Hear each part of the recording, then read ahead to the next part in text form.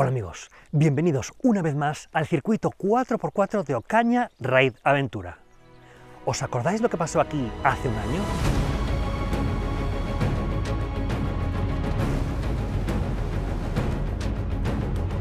¡Oh! La barriga. Estoy completamente empanzado. Hemos conseguido coronar porque no ha tocado abajo, ha pasado sin rozar. Es el ángulo ventral lo que ha marcado la diferencia en esta prueba. El único que ha pasado, el Mercedes.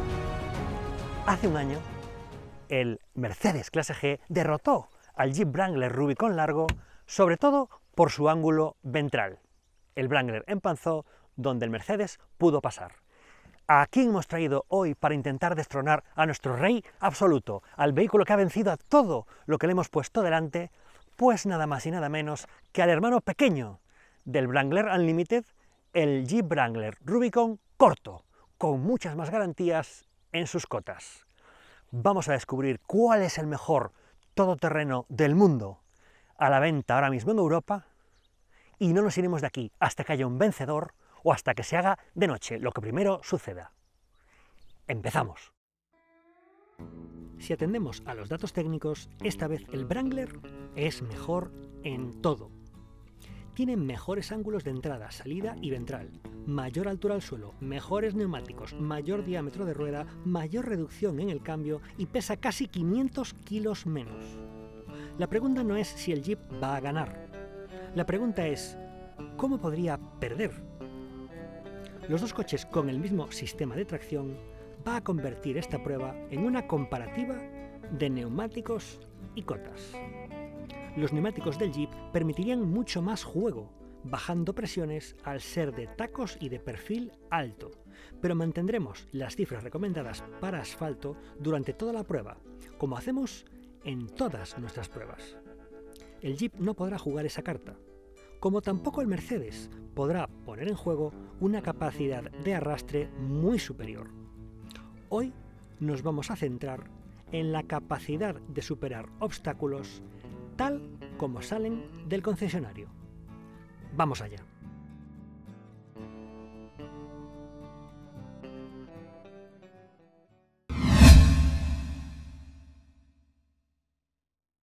Vamos ya con la primera prueba, una impresionante subida de tierra con cruce de puentes arriba del todo. Aunque hemos hecho esta misma subida en otras ocasiones, está absolutamente destrozada. Por aquí han pasado cientos de coches, ha pasado un invierno, ha pasado un camión y la han roto totalmente.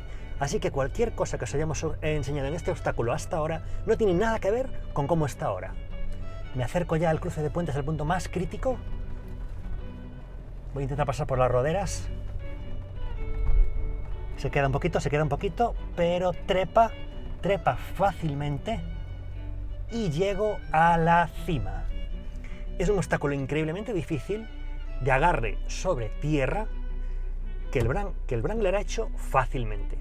Vamos a ver qué tal lo hace el Mercedes Clase G. Vamos ya con el mismo obstáculo con el Mercedes Clase G. Un obstáculo que medirá el agarre en tierra en circunstancias verdaderamente extremas. Vamos allá, triple bloqueo activado siempre, triple bloqueo activado por supuesto, reductora. Ay, perdón, vamos a quitar el sonido del sensor de aparcamiento. Voy a ir muy suave, sin ningún tipo de inercia, como hice con el Wrangler. Está subiendo muy bien, está subiendo muy fácil, parecido al Jeep, me atrevería a decir.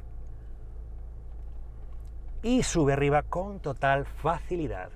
En este caso, en un mayor silencio, un mayor aislamiento, porque este es un coche de auténtico lujo, pero técnicamente creo que ha habido un empate en agarre en tierra vamos a seguir incrementando la dificultad en busca de otras superficies.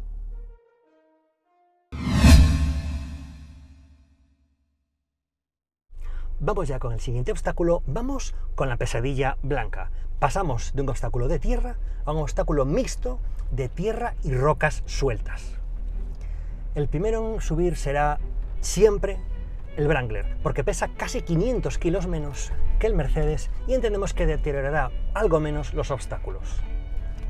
Llegamos ya a la parte más crítica. Triple bloqueo eh, conectado, reductora bloqueada, de barra estabilizadora delantera desconectada para que haga la máxima articulación y vamos a ver qué tal tracciona este vehículo en este sitio tan complicado, con una pendiente tan fuerte que solo viendo el cielo en este momento. Solo del cielo en este momento, pero de memoria, esta curva más o menos la he hecho tantas veces y lo consigo. Lo consigo. Bueno, un obstáculo complicadísimo, sobre todo después de que lo destrozara un Mercedes Unimog de casi 7.500 kilos, pero con todas las piedras sueltas que hay, el Wrangler lo ha hecho fácilmente. Vamos a ver qué tal lo hace el Mercedes Clase G. Vamos ya con la pesadilla blanca en el Mercedes Clase G. Triple bloqueo y reductora y vamos adelante muy muy despacio. Como los dos coches llevan triple bloqueo de diferenciales, no podemos encontrar ninguna diferencia en el sistema de tracción. Así que nos vamos a centrar, como estáis viendo, en agarre de los neumáticos, que es la principal diferencia entre ambos coches, cotas y articulación de suspensiones. Llego aquí a la parte más complicada, donde los cruces de puentes más profundos, y llego ahora ya a la pendiente que voy a subir con mucha cautela para no golpear abajo, no va a golpear parece. Está subiendo muy fácil. Se me descuelga alguna rueda, pero es que es increíble lo que puede traccionar este coche es una auténtica locura. Y llego arriba con total facilidad. Con los neumáticos de asfalto y llantas de 20 pulgadas, el Mercedes Clase G sube como una auténtica oruga. Vamos a por el siguiente obstáculo todavía más difícil.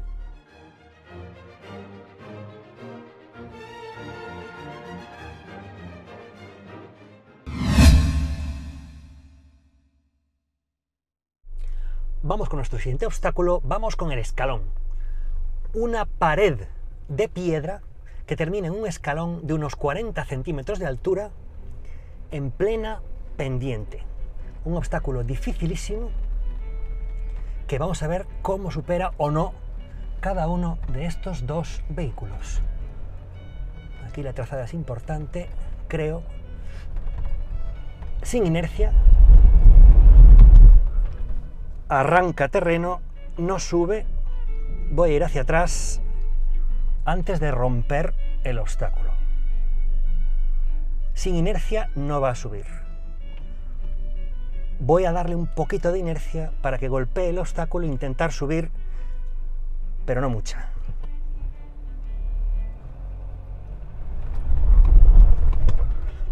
Bueno, con un poco de inercia ha sido necesaria he conseguido subir el tren delantero. Vamos a ver qué pasa con la trasera del coche, que todavía resbala, pero logro subir. Algunas dificultades, no he podido subir sin inercia, pero al final el Jeep lo ha conseguido. Vamos a ver cómo ha quedado el obstáculo y vamos a ver si lo consigue el Mercedes Clase G.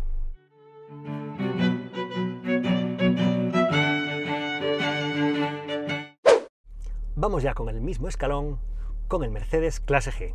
El Jeep ha rascado un poco una piedra, pero no ha movido ni un milímetro el obstáculo, así que las condiciones son idénticas. Voy a intentar seguir las huellas del propio Jeep y repetir la trazada exacta, aunque tenéis que tener en cuenta que yo a partir de este punto más o menos ya no veo el obstáculo y empiezo a ver solamente el cielo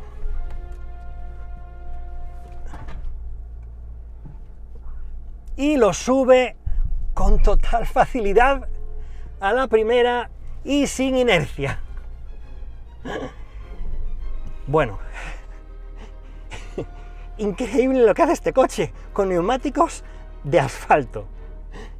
En fin, creo que ha sido exactamente la misma trazada, creo que la ha hecho exactamente igual y donde el Jeep patinó y exigió un pelín de impulso, el Clase G ha subido como si nada.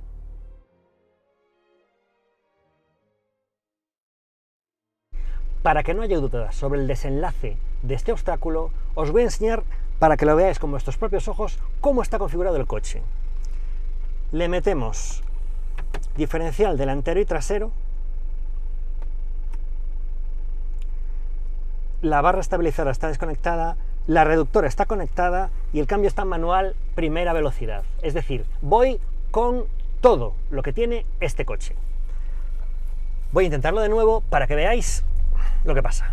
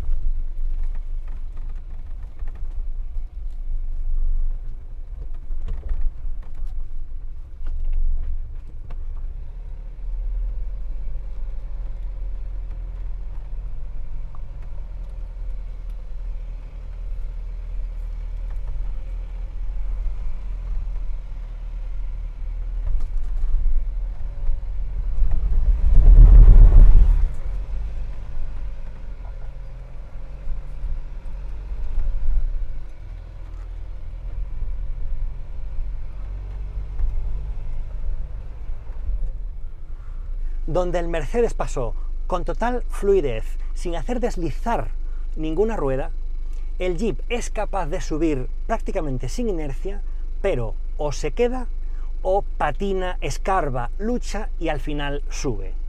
Es una diferencia de matiz y probablemente tiene que ver con los tacos que no agarran tan bien en la roca y con la distancia entre ejes y cómo coinciden las ruedas en el punto más crítico del obstáculo. Pero al final del día yo creo que el Mercedes ha subido mejor que el Jeep, aunque sea por una diferencia marginal. Por lo tanto, en este obstáculo en concreto, creo que hay un primer ganador en rocas.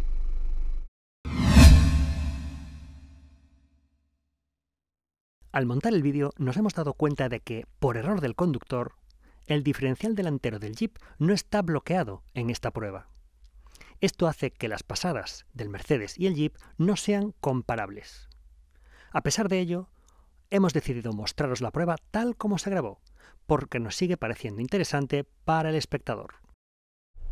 Vamos con uno de los obstáculos más espectaculares del circuito, las pozas de barro. Tenemos una primera poza muy sencilla que voy a pasar absolutamente sin inercia, la que vais a ver ahora, y otra después que es mucho más complicada y que os explicaré cómo lo voy a pasar cuando lleguemos a ella. Entramos en la primera poza sin ninguna inercia, abro un pelín de gas, casi nada, y el coche pasa fácilmente. Hemos hecho una primera pasada con el Wrangler con mucha inercia en las dos pozas, precisamente para crear una especie de surcos, una autopista, y que los dos coches pasen en igualdad de condiciones. Y ahora sí, sobre esa autopista, sobre esas dos roderas en el barro, pasará primero este, que es 500 kilos más ligero, y después el Mercedes clase G, igual que lo hemos hecho en el resto de la prueba. Ahora voy a entrar muy despacio y cuando sienta que las cuatro ruedas están ya en el barro, ahí sí que me lanzaré a intentar salir recto como sea, es decir, acelerando. Me meto, me meto, me meto, es blandísimo, este barro es blandísimo. Ya noto que estoy en el barro, acelero para intentar salir, acelero para intentar salir.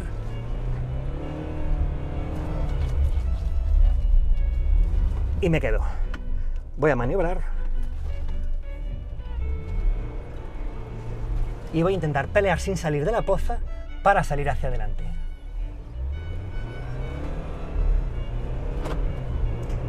En teoría este obstáculo es mucho más adecuado para los neumáticos del Jeep frente a los de carretera del Mercedes.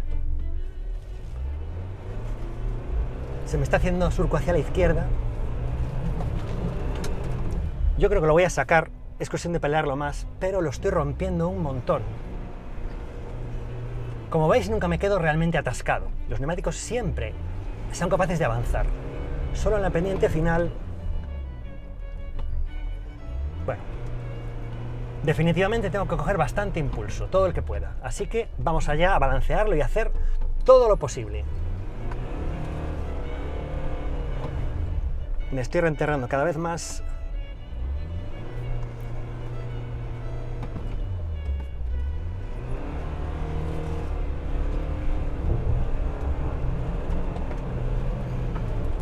Voy a sacarlo por donde sea. por donde sea. Ya me da igual con tal de no tener que tirar de las líneas, que la tenemos ya conectada al coche.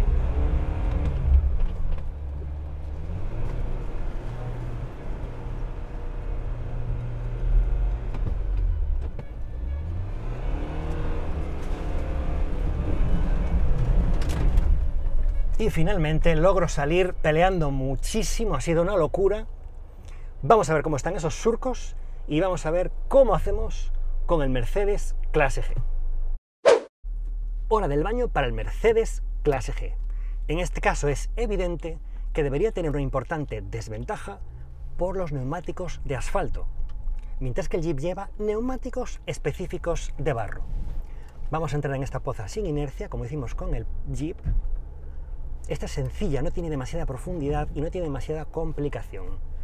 Ha salido muy fácil y está claro que aquí donde nos la vamos a jugar es en la siguiente. Voy a maniobrar aquí a la derecha.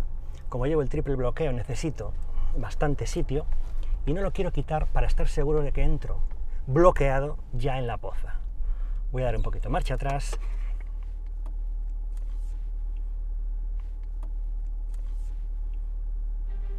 Como llevo los diferenciales bloqueados, he tenido que hacer varias maniobras. Arrancamos aquí el ataque a la segunda poza de barro, la más difícil. Evidentemente tiene los surcos del Jeep, evidentemente no está virgen, tampoco el Jeep pasó de primero. Mismas reglas, me meto con las cuatro ruedas y cuando sienta que están las cuatro en terreno blando, las de delante ya lo están, empiezo a intentar salir hacia adelante. Ya están las cuatro en terreno blando, acelero. Intento salir recto, como lo intenté con el Jeep. Vale, no quiero enterrarme. Vamos para atrás. Se me ha calado el coche. Vale, voy para atrás. Y esto ya va a ser una lucha contra el barro. Quitamos.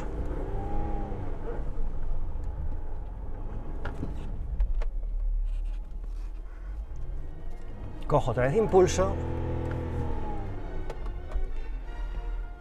Cada vez tengo más dificultades para que se mueva y lo voy a dejar salir por donde sea. Por donde sea.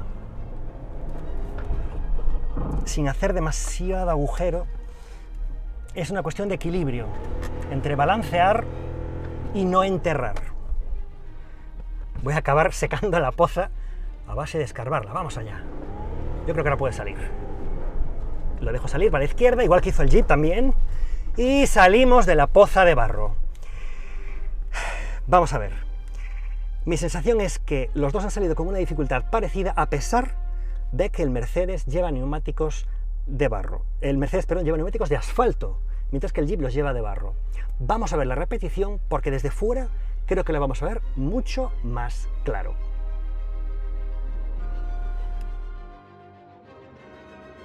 Si hubiese bloqueado correctamente el diferencial delantero del Jeep, creo que habría salido con mayor facilidad. Desgraciadamente, nunca lo sabremos.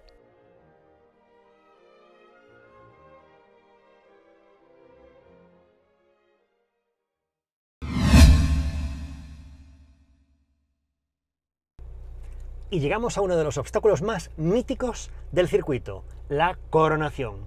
El lugar donde en la última comparativa de mejor todoterreno del mundo había vencido el Mercedes Clase gracias, gracias a su ángulo ventral. Hoy venimos con el hermano pequeño del Wrangler, cuyo ángulo ventral es ligeramente mejor que el del Mercedes, así que vamos a ver si se toma la revancha. Hoy el obstáculo está eh, especialmente duro y el nivel de agarre es muy bueno, es muy bueno probablemente se convierta en un problema de cotas. Solo veo el cielo, solo veo el cielo. He rascado el barriga, he rascado la barriga, pero he subido de forma fluida. Escuchado cómo rascaba la barriga. Y ojo porque, ojo porque el ángulo ventral de este coche es ligeramente mejor, ligerísimamente mejor que el del Mercedes. Así que si está rascado de forma sonora, vamos a ver lo que pasa con el Mercedes. Vamos allá. Aquí estamos con el Mercedes Clase G en la coronación. Ya habéis visto lo que ha pasado con el Jeep Wrangler, las condiciones de agarre son óptimas y aquí el único problema es el ángulo ventral. El Jeep ha pasado rozando se ha, escuchado el rozamiento dentro del habitáculo y el Mercedes va a pasar, en principio, rozando también. Vamos a ver si empanza o sube. Me acerco sin inercia, igual que lo hice con el Jeep. Voy subiendo muy despacio, llego al punto crítico y empanzo. Empanzo. Voy a dar un poco para atrás para no romper el obstáculo. Voy a coger un poquito de inercia, pero mínima, mínima, mínima. A ver si llego arriba. Siento que el coche apoya toda la barriga a ambos lados. Voy a hacer un tercer intento.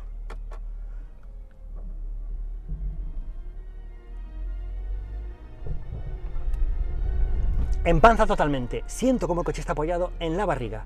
Por lo tanto, el Jeep se toma la revancha y en este caso por ángulo ventral vence el Jeep Wrangler mientras que el Mercedes se queda empanzado.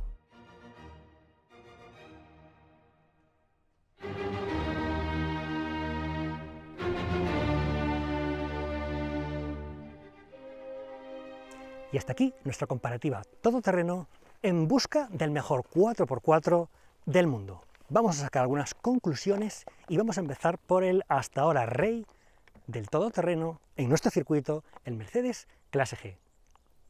Este vehículo ha demostrado en el día de hoy que es absolutamente imbatible en capacidad de tracción, incluso a pesar de llevar neumáticos de estricto asfalto y llantas de 20 pulgadas. Y tengo que decir, como, como despedida de esta unidad de prensa que sale de la flota de Mercedes ya y nos despide hoy, que este es el coche más completo, más versátil y más impresionante que ha pasado por las manos de este probador hasta el día de hoy.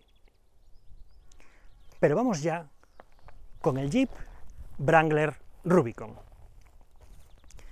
Ha mantenido el tipo contra el Mercedes en todo momento. Ha sido marginalmente más difícil subir con él por las rocas que con el Mercedes. Pero al final, en el único obstáculo en el que uno de los dos contendientes ha podido subir y con el otro no hemos sido capaces de cruzar, ha sido el Jeep en la coronación por una cuestión simplemente de cotas. Por décimas de ángulo ha podido pasar donde el Mercedes ha empanzado. Además, no nos engañemos, este es el único todoterreno puro y duro, 100% auténtico, que queda en el mercado.